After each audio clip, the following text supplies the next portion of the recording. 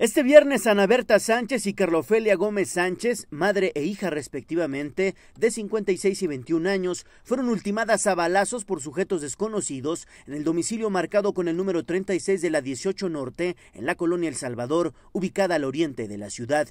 De acuerdo a testigos que presenciaron los hechos, todo comenzó cuando los agresores, quienes viajaban a bordo de un Nissan color negro, comenzaron una persecución por las calles de la colonia y abrieron fuego contra Raúl, esposo de Carla, quien acompañado por dos amigos condució una camioneta pick-up que utilizó para darse a la fuga, pero minutos más tarde recibió una llamada a su celular para informarle que los hoy homicidas habían arremetido contra su pareja embarazada y su suegra.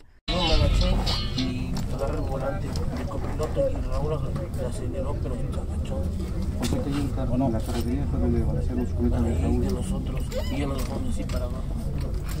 Y metimos en la que sale así a la calle esa, y pues todo eso nos fue corriendo. Ya todavía un chavo sacó la mano y le hizo así, como que siguen, y ya cuando nos metimos a la acá en la iglesia todavía nos ponen siguiendo. Llegamos ¿El a sur negro? El Sur Negro. ¿Con cuántos sujetos fueron?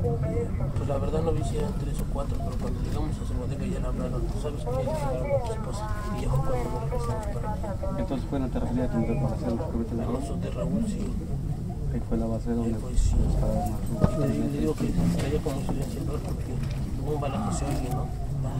Y ahí como rebotaban como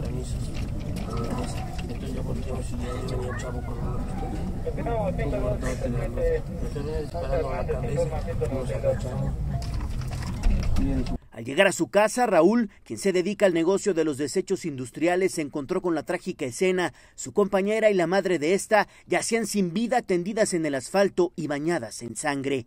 Hasta el lugar llegaron elementos de las policías municipal, estatal y ministerial, quienes montaron un fuerte operativo para dar con los responsables, mientras en la escena del crimen trabajaron peritos en balística, mismos que contabilizaron 12 casquillos percutidos calibre 9 milímetros, con los que presumiblemente atacaron a las hoyoxisas. Al final, las autoridades aseguraron a un par de personas quienes formarán parte de la investigación y la Ministerio Público, Mónica García Gutiérrez, realizó el levantamiento de los cuerpos. Con imágenes de Álvaro Morales, Leonardo Torija Cervantes, Sistema Informativo, Tribuna.